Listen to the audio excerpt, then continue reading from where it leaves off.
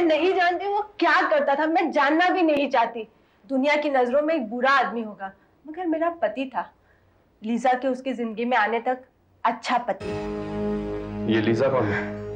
एक घटिया औरत। पहले नाइट क्लबों में गाना गाया करती थी। मैनन की उससे मुलाकात हुई और उसने आपको छोड़ दिया। यही ना?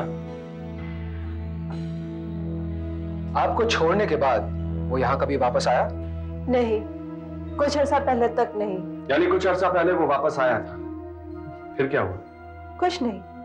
ना उसने कुछ मुझे बताया न मैंने उससे कुछ पूछा। मुझे तो बस उसके वापस लौट आने की खुशी थी।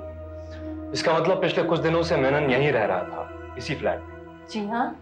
क्या किसी को कुछ पता था कि वो यहाँ पे है? नहीं और उसने मुझे किसी से कुछ कहने के लिए मना किया था और मैंने किसी से कुछ नहीं बताया। और लीजा? वो कहाँ है इस वक्त? मुझे पता नहीं और परवाह भी नहीं। अच्छा आपने कभी अपने पति से लीजा के बारे में कोई पूछताछ नहीं की? मैंने आपसे कहा ना मुझे उसके वापस आ जाने की खुशी थी। वो जैसा भी था।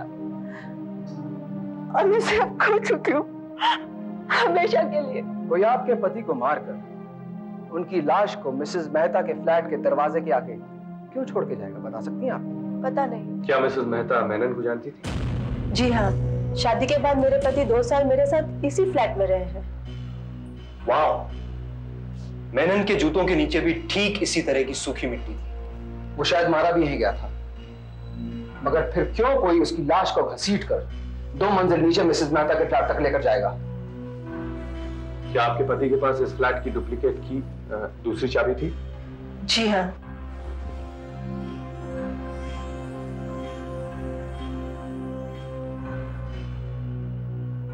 मेनन की जेब से ये सब निकला है।